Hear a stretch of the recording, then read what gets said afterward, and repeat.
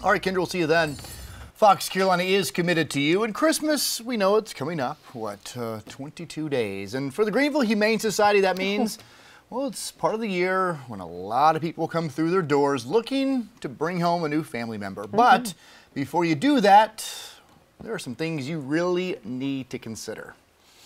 And our own Zach Prelutsky, he is in studio with us, and he spent some time over at the Humane Society in Greenville today. And we know those animals wanting their forever homes, of course. But what do people at the Humane Society say you need to really consider before bringing home a pet, Zach?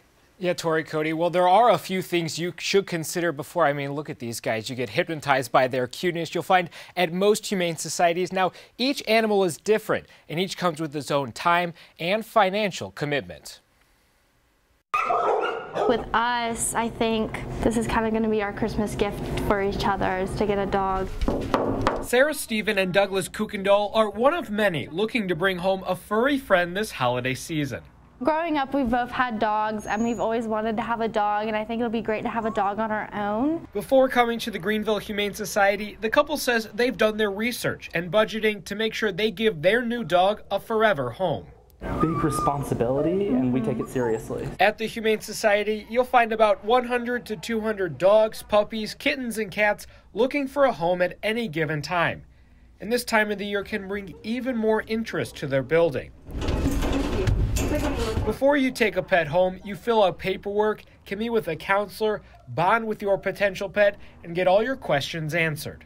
We're making sure that we're spending our priority time on individuals who are very interested in adopting and providing them with the necessary needs and questions that they have. There are also other factors to consider, including spending money to buy food, potentially unexpected medical costs, and those 2 a.m. bathroom walks for those with dogs just consider how many hours am I at home? You know, do I need something that I can't pay as much attention to?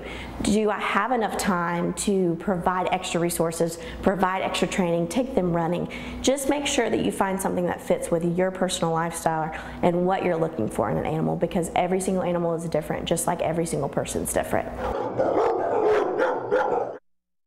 Now, the Greenville Humane Society says people do sometimes bring back their pets to the shelter for a variety of reasons, but they will take them back and find them a new home.